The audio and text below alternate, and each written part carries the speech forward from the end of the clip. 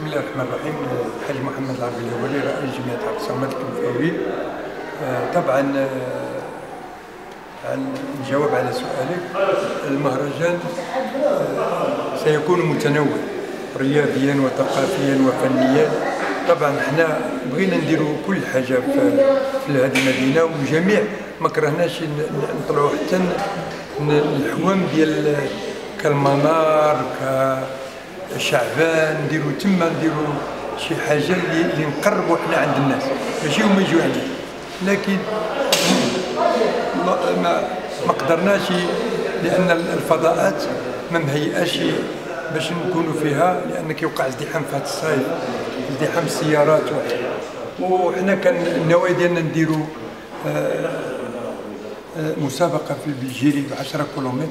انطلاقا من من رأس الرمل إلى مدينة العرائش.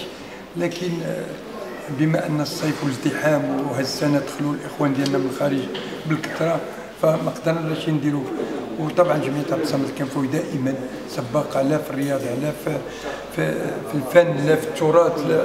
فهذا سي الأخ سبيطي وكنشكرك على هذا السؤال اللي سألتيني عليه وبما أن سألتيني عن الضيوف آه، اللي غادي يجيو المهرجان غادي يجيو الإخوان ديالنا من الجنوب السي محمد الشيخ ولد سلمى اللي هو عاودنا باش يكون حاضر معنا أخ ديالنا في الصحراء المغربية وغادي يكون معنا هنا إن شاء الله في الافتتاح الرسمي.